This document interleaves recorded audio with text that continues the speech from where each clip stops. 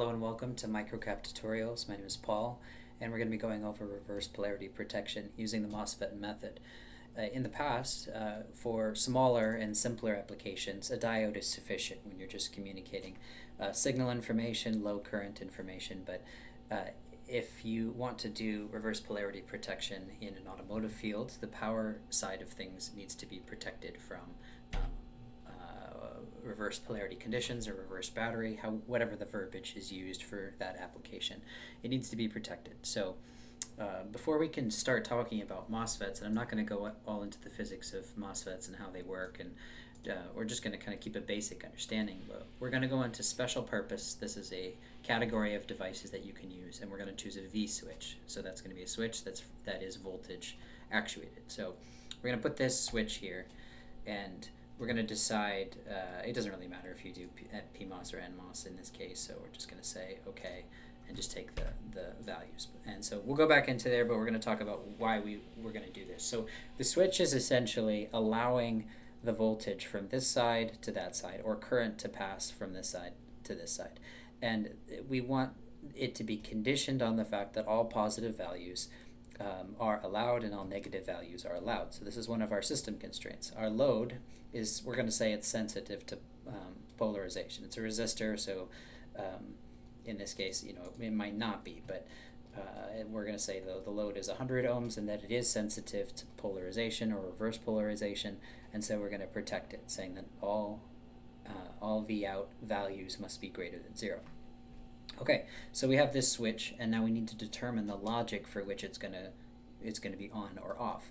So we're gonna go back into the parameters, and when the way that switches work, we, we like to think of them as they have infinite impedance or they have zero impedance, but this may not be realizable in a in a domain where we're going to be calculating um, because 1 over infinity is difficult to calculate and 1 over 0 is difficult to calculate sometimes. So typically we choose significantly high values and um, usually in the mega ohms range is, is what the resistance will be for any MOSFET or for any sort of bridge um, when it's considered off. So a lot of times MOSFETs will be 8 mega ohms uh, or around that range. And when it's on, there's going to be some resistance associated with it. So it's not perfectly zero ohms. It's going to be, I don't know, 0.1 or 0.3. This was the, um, this is what was the, the default setting. Now, uh, that covers how the load is going to be switched on or off on the network, and then now the conditions of the switch. So, uh, in order for this to occur, for for this to be off, um, then this is going to be at zero volts, and for this to be on, it's going to be at one volt. So we're just going to do a quick little simulation here. We're going to set this to five volts, something that might come out of a microcontroller, and then we're going to set this to ground. And then we'll wire this portion up. Okay, so what we should expect is that I am instructing this relay, you know, this is essentially like a, a idealized relay, to to accept all values of whatever is coming here, both negative and positive, because this is my instruction to say that it's on all the time. So I'm going to go into analysis and transient and run. All right, cool. So there's my VN value. It goes all the way up to 10 volts, minus 10 volts, things we've seen before. And then you have the output, which also experiences that. Now, since this is polarized, uh, or we're saying that it is, is going to be sensitive to polarization, maybe it might be like a capacitor or something like that. Um, we're going to now accept only the positive values. So we're going to do that. What, what that does is it takes all of the positive values and then it applies it across the terminals here um, and instructs this relay to turn on. And when this is reverse polarized, that now the controls say you can't be on. So we're going to go to analysis and transient and see what that might look like.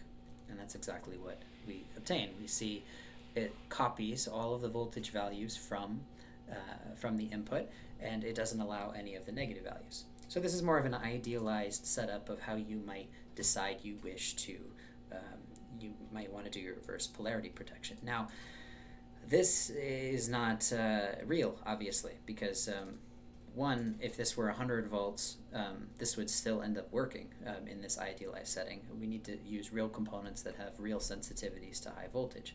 So uh, next we're going to um, we're going to talk about how we might use a MOSFET. Now, in the high side, what this is called the high side, and then this is the low side, if you want to do this passively, meaning you don't want to have additional components or electronics necessary to what's called enhance the p-channel device, uh, then what you need to do is you need to use a p-channel MOSFET um, in the high side, and you connect it this way. So we'll go to generic P, or, or maybe even choose a real component this time. I'm not really that partial to it, but so I connect here and this is my my MOSFET. I'm gonna just gonna assist this real quick. This is called the drain. Okay. And this is the source. And I'm assuming that the, the viewer here already has an idea of what uh, what the anatomy more or less looks like of a MOSFET. We may talk about it real quick, but uh, this is how practically you're going to use a MOSFET, um, even if you haven't studied it uh, in, in greater depth. There's all sorts of models that describe uh, MOSFETs, and there's all sorts of packages, and there's all sorts of um, implementation strategies on, you know, if you have a, um, uh, I, mean, I don't really want to be honest. There's, it, you could study MOSFETs your whole career and probably not expend all um, all that one can know about MOSFETs. But anyhow, you have the drain, the source, and the gate here. And the way that P channels work is um, although this topology makes sense, it's sort of backwards in how you would expect the control signal to work. So you would expect that if I apply um, a voltage at the gate and between the source that it's going to turn on, but it's actually opposite. You need a negative difference between the source and gate um, in order for this to turn on. So anyway, I'm going to put the, the MOSFET like this, and then I'm going to run the simulation. And there we go. We have a real uh, a real reverse polarity protection device. And this is kind of the basics of, of what you might expect. And there's there's something that we do need to talk about. And the way that the symbol works in microcap is that it doesn't show a hidden component, which is the body diode, and that is important. So we're going to look um, we're going to look at it. So we're going to go to DigiKey and act like we've we are looking for a part, like we're building a product, and we need a part to fulfill a particular um, implementation. Research is uh, by far the most amount of time that you'll spend when you're designing you're designing products. You will spend a lot of time looking at data sheets, and you you may have different characteristics for different needs. So. Uh, one of the things that, that I've done is I've worked in automotive industry. So everything, every component that you buy has to be AEC-Q qualified, and uh, and that's that. It just goes through more tests or it goes through more um, uh, more stringent requirements from the manufacturer. So they they label it as that. Um, some of the parts are identical, but they just have more documentation associated with them. So a lot of customers will say, no, every single component needs to be AEC-Q um, certified, unless there's a shortage, and then they may give you a deviation for that. But that's another conversation for another day. Always make sure that when you're looking for new parts that you always choose active, because if you choose obsolete, you could be designing on something that's um, that in maybe six months the part isn't going to be available. We're looking for a p-channel device and we're going to apply going to we're to apply these. Now we start to see these other parameters. I mean, we could have we could have looked at these individually, but um, some of the more important parameters are the drain to source voltage, which is um, how much that uh, that device can withstand, and the amount of current. These two things uh, will create a safe operating area that you need to calculate uh, when you're designing a product to make sure that you can withstand high voltage and you can also um, uh, allow a lot of current um, to come through that device without overheating it. The, compos- the composition or the, or the combination of these two voltages and currents at any given time is the power dissipation, just because power is voltage times current. So just keep that in mind. Um, or yeah, so there you have that. All right, so now the gate source voltage. This is the voltage for which the MOSFET is going to respond to us in a controlled way. You know, I choose what this gate to source voltage is going to be, and the, the conditions or the logic of how this MOSFET is going to turn on. Um, in most cases, it's around 20 volts. Those are the vast majority of MOSFETs are going to be in there, and that's the maximum. So if you go over that, you could potentially destroy the MOSFET. And this is where we might end up in our circuit. So right now, I have 10 volts going into here. It's at maximum 10 volts, and it's the difference between the gate and source. So I'm within generally the maximum for the gate and source. But if this were to say be 100, uh, I don't know if this device would work the same way because this gate to source um, junction, if you will, is going to break it down um, because now there's a difference that's across there. But we'll get to that. So, anyways, we're looking for this kind of device here. There's the power dissipation max, operating temperatures. Um, a lot of customers will talk about their operating temperatures, and you want them to be generally between minus 40 and 125 C if you're in the automotive range. If you're going to be doing anything with aerospace, then this is extended to minus 55 or 150. I mean, these are these are great. If, if this is actually how, how hot these things can get, uh, MOSFETs are designed for power in mind uh, or for switching loads. So keep that in mind. And then the last thing is the package. So there are all sorts of different kinds of packages that you can prefer. Uh, I tend to like these sort of power packages um, or the um, the DPAKs. Uh, T0 252 there's all sorts of standardizations and internal standardizations um, that people use but but these ones have been pretty effective in the past as far as the package is concerned really good power dissipation characteristics uh, very low um, profile on your board, all sorts of stuff like that. So we're going to go into the data sheet. we spend a little bit of time on that. I had already downloaded it before this point, but we're going to go and look look at it. So there's all sorts of um, all sorts of information that, that, that you'll need to use um, about your MOSFET. Uh, might be overwhelming at first, and you should take one section as it comes um, and try to learn as much as you can about it. Um, anyway, what we were interested in is the symbol. So the p-channel device has um, the source where the, the, the arrow is going to be pointing this direction, and we have this diode. Now, microcap doesn't seem to include that. We get all this portion of the arrows in the right direction. Okay, it's a p-channel device, but this diode, uh, this diode is very important because if there's a voltage, positive voltage difference between the drain and the source, then that current is going to actually go through this diode. Okay, and that's what prevents current from going backwards through this. So this, this portion of the MOSFET is going to be a variable resistor, preferably something that has extremely high resistance and extremely low resistance between the on and the off state, and a diode which is going to either permit the current through one direction or make it impermissible in the other direction. So if you look at the way that we have connected it, um, that diode would be presented between the drain and the source. So it would be as if we have this diode here. So at the very beginning of this simulation, if there is a positive value, um, before this MOSFET gets the opportunity to turn on, meaning the resistance to drop close to zero, the current or the charge is going to prefer to go through this diode and into the load, which is fine if it's a positive value.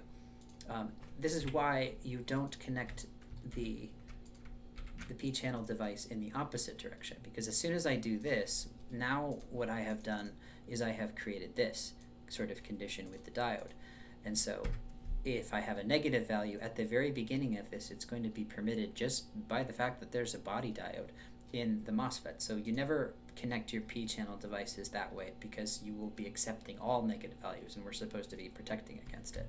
So uh, just a little bit about topology on how you might use a passive p-channel device in your circuit. Okay, so then back uh, back to here. Uh, what's the minimum gate source voltage? Uh, this is the maximum, sorry, maximum ratings. Okay, what's the, let's see if, if they have it here. Drain source breakdown, that's interesting. Gate source leakage. Okay, gate threshold voltage, VGSTH. That's what's interesting. If you notice, this is this is negative, minus 1.3, because we need a difference between the gate and the source to be negative. Um, this is going to be 0 and this is going to be 10 volts, so then our result uh, V gate source is going to be minus 10. Of course, that's greater than, or that's, that's much less than the turn on, which is minus 1.3. So then that satisfies the system constraint, which is the MOSFET turn on. Um, and so a lot of this stuff can be can be pretty complicated, but we need to think of it in terms of switching. What is it that allows us to switch uh, this particular source onto the load? Um, or this load onto the network of the power supply, depending on how you want to see it. So if we do this, we set up our p-channel device, under most conditions, it's going to perform the way that we expect it to. We have the positive voltages, and then we have a very clean nothing, which is exactly what we want. We don't want anything to go below the origin so that this load is protected. Now, we have protected the load, but we have not protected the load switching device. Um, and so sometimes because of this application, like in, in most, if you've ever worked around MOSFETs, you tend to see them. Uh, well, this is a p-channel device. I'm just going to do this with an n channel so that it makes more sense in the application. Okay, so here we have an n-channel device, generic, something like that. We tend to see load switching like this. We, see, we tend to see the MOSFET like that, and now we have a control signal that can switch the load on and off. Uh, but we've used this uh, as, as sort of the gatekeeper device that allows us to protect all of the loads because it might not be just this load, it might be another load or another or another, um, or maybe something that's capacitive or inductive or something like that. But this MOSFET will protect all of them, not just switching on and off the one that we have.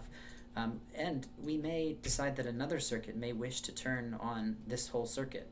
So you may have a control circuit that is determining whether or not um, this circuit is going to provide power to all of these loads. So that that's one of the benefits of having this kind of thing is not only can you do reverse polarity protection, but you can also do controlled power, um, controlled power. But again, uh, we've protected the load. I don't know why it's not enabled here. We've protected the load in this circumstance, but we have not protected the actual device because there's a hazard to it.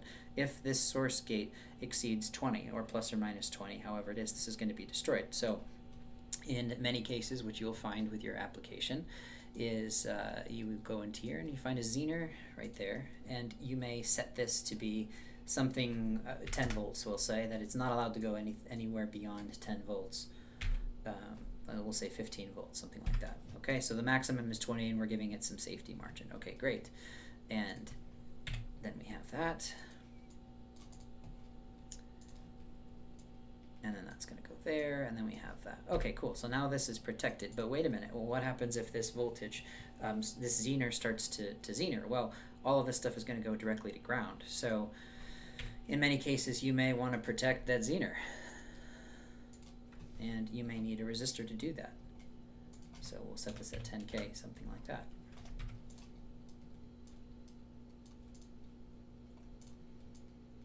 Okay, great. So now you've protected the gate and source, and you're allowing all of the um, all the things to happen, which is great. And the performance shouldn't change as a result of having this. Now this is labeled D1. I'm not sure why Microcap does this. It would be better if it just said, okay, you put it, you're putting a Zener, yeah, put a Z1, but it doesn't actually do it that way. Um, so you have to rename it if you're going to keep your reference designators um, uh, consistent. So then let's run the simulation, see if it worked out. There we go, same pattern, right? All positive values, great, and nothing of here. And if you notice, we, we upped the voltage, we put it to 100 volts, and uh, we're, we are still performing the way that we need to with this real device, or at least this real, um, this component here that has real characteristics to it, and we've protected it from, um, from any sort of damage with this, with this Zener. Um, there are other things that you can do with this, um, other things that you can do with this, but um, now it, it should it should ultimately uh, well, I won't go into that. I think that's enough for now. Uh, topology, we've talked about gate over voltage protection, and uh, I think we've hit everything. I think we've hit everything. So, hope this has been helpful in your um, in your engineering analysis and your um, in your in your career. And thanks for thanks for taking the time to watch. If you can, please leave like or subscribe, um, notification, all that stuff. It just helps me um, do um, do what I'm doing here, and uh, hopefully it helps you for, for wherever you're wherever you need. So. Uh, have a great day. Take care.